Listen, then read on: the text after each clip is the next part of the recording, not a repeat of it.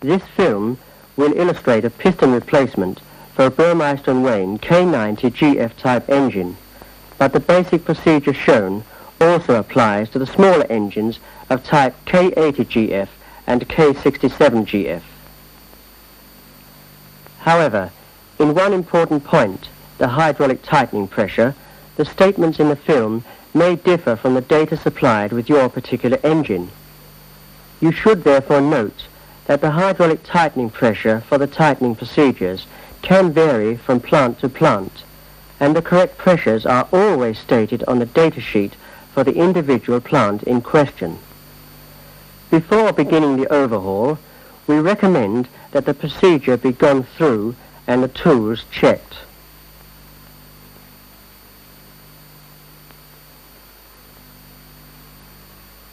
In order to prevent injuries to personnel or damaged to the machinery, it is very important that the following precautions are taken before any work is commenced. To safeguard against unintentional turning of the engine, the main stop valve must be closed, that is, turned to the blocked position, and the stopcock closed on the inlet pipe to the starting air distributor.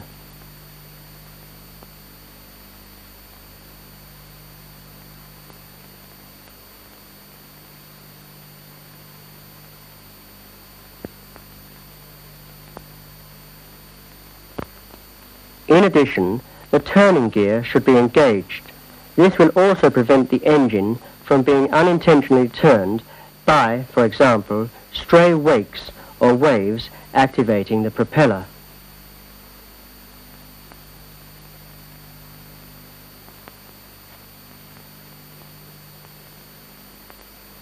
The next stage is to remove the cap nuts with copper discs on all indicator cocks and open the cocks.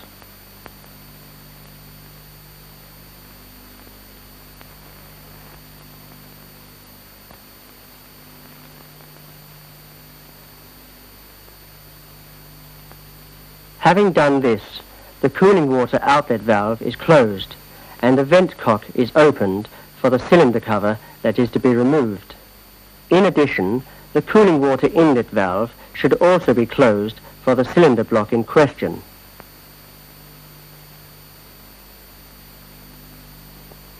The cylinder block drain valve is then opened and the cooling water is drained off from the cylinder cover.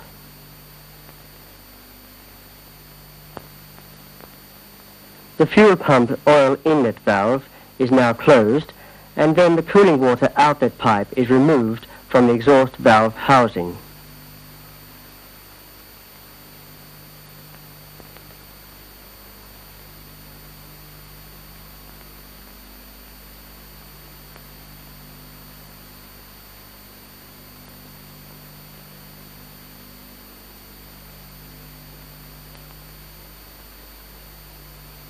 The exhaust bend can be disconnected by removing the two hinged clamping rings.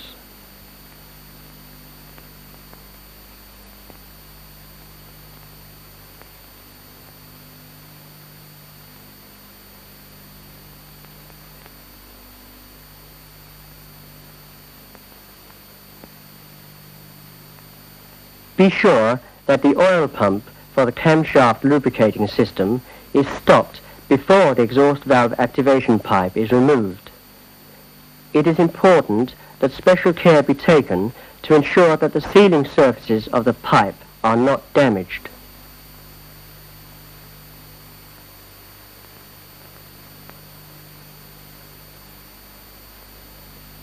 Also take special care when handling the high pressure fuel oil pipe.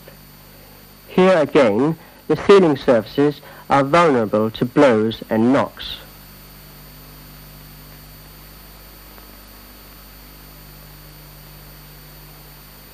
The control air connection to the starting valve is now removed and so are the nuts for the starting air flange connection on the cylinder cover.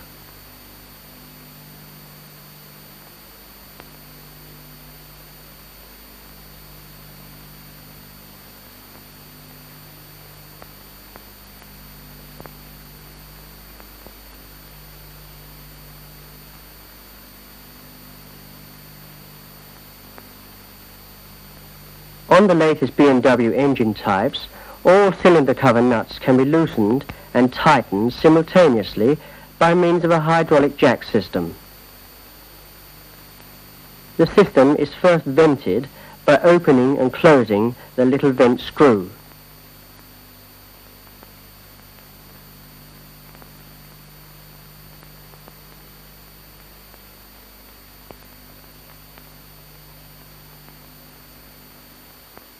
The oil pressure is then raised to the value stated on the data sheet, in this case 700 kilopond per square centimetre, and the circular nuts on the cylinder cover are loosened by means of a Tommy bar.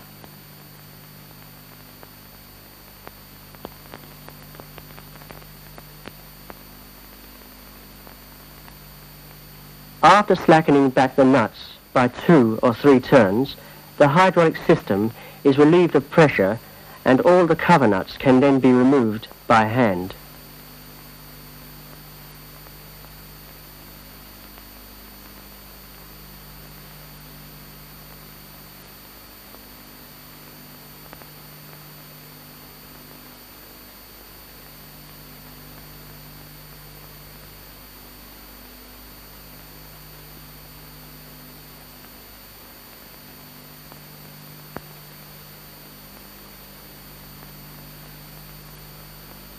When lifting the cover, we strongly recommend the use of the special tools supplied. The employment of other lifting devices can cause damage and delay.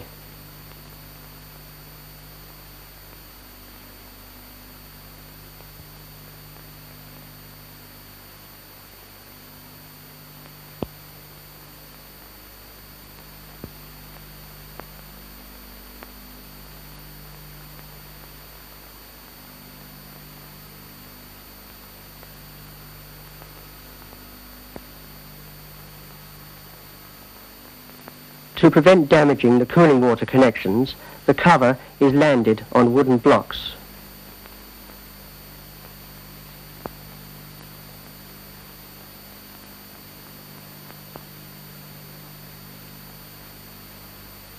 Having now dealt with the cover, we can concentrate on the removal of the piston assembly.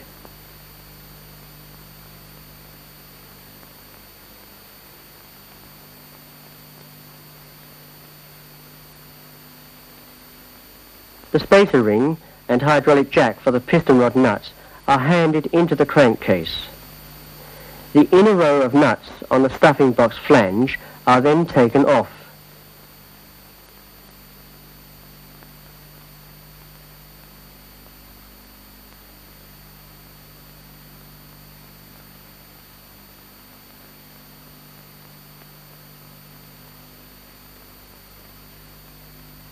After removal of the locking strap, the spacer ring is placed around the piston rod nut.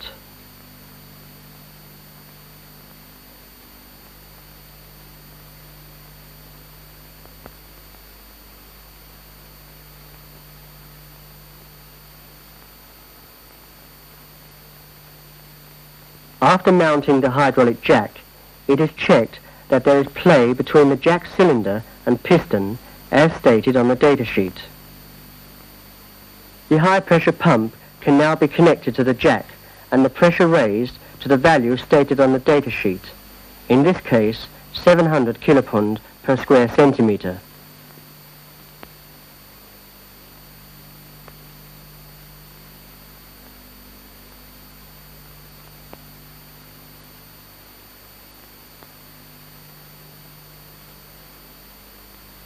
At this pressure, the piston rod nut can be loosened by means of a Tommy bar. The hydraulic pressure is then released and the jack and spacer ring are removed and the piston rod nut is now able to be screwed off.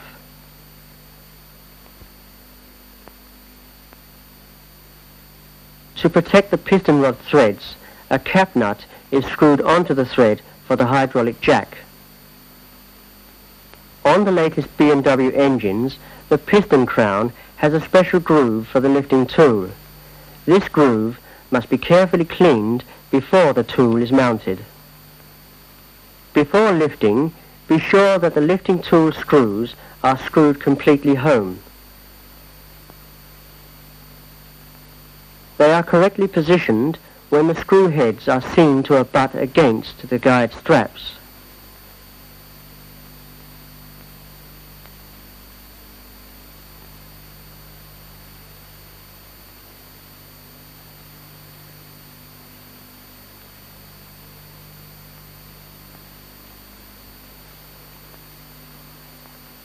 When the piston is lifted, the stuffing box will also be pulled up by the end of the piston rod.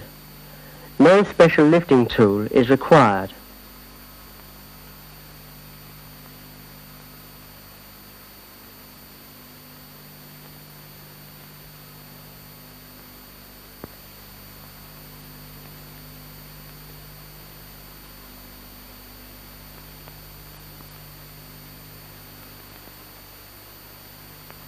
Piston assembly is landed on a support placed on the engine platform.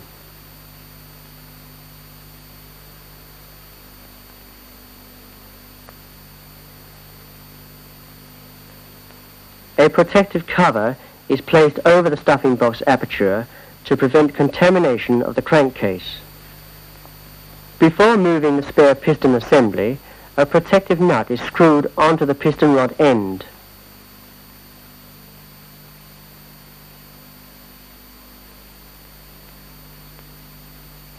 A pulling tool is then mounted on each side of the piston rod and also attached to the stuffing box.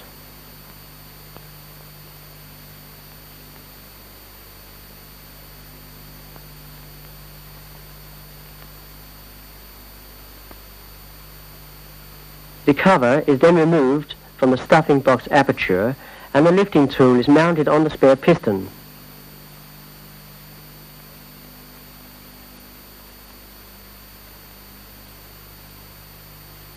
The running surfaces of piston and cylinder liner are smeared with lubricating oil.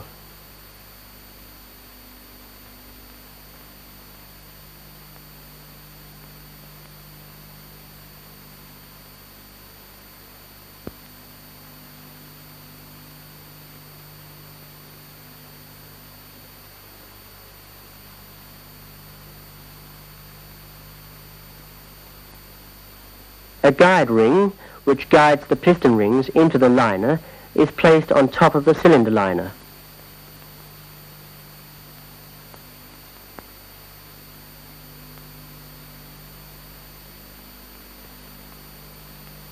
The piston can now be carefully lowered into the cylinder liner.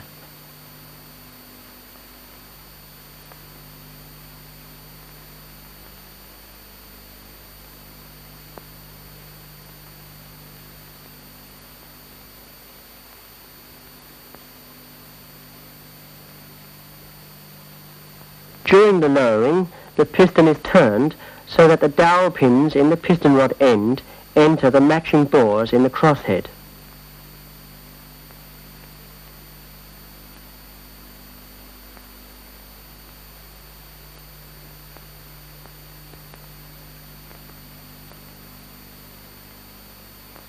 The lowering is continued until the lifting tool with the piston rests on the guide ring.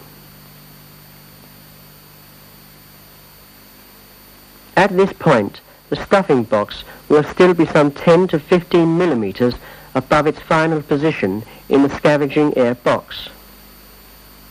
The pulling tool can now be removed and the stuffing box is pulled home by tightening the screws.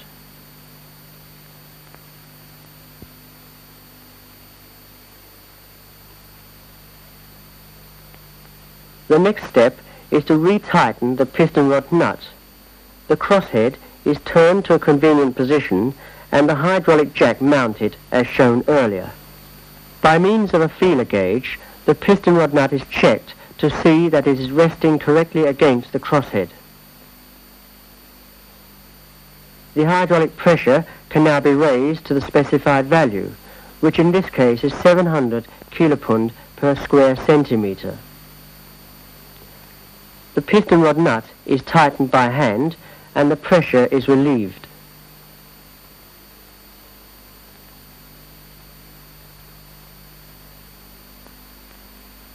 The jack is then removed and the locking strap for the piston rod nut is mounted and secured.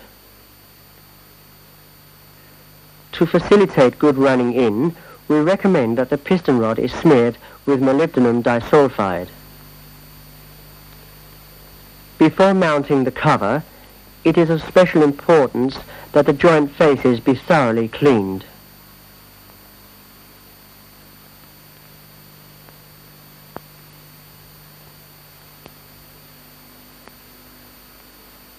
All cooling water connections are provided with new rubber rings and the rings are smeared with a little grease or Vaseline.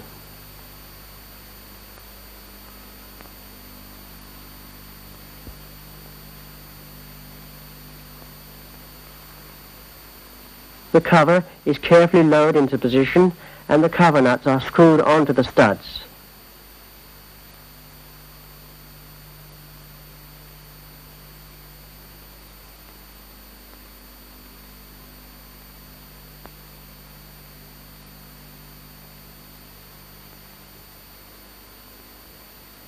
It is important to remember that the outer circular nuts must be slackened a little so that they are free of the hydraulic ring.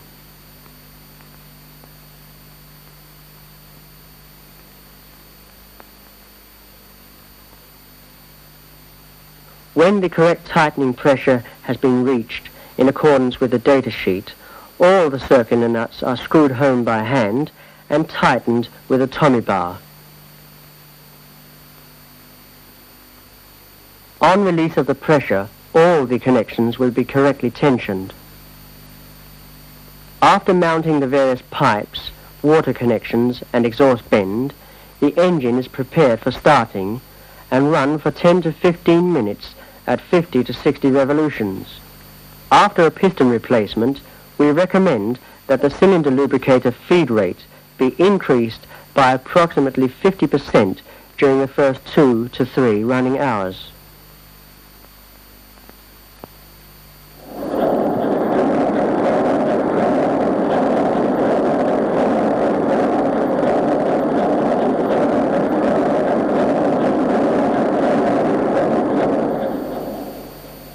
Engine is now stopped, the main stop valve closed, and the turning gear engaged. The piston rod and stuffing box can now be felt over and checked visually.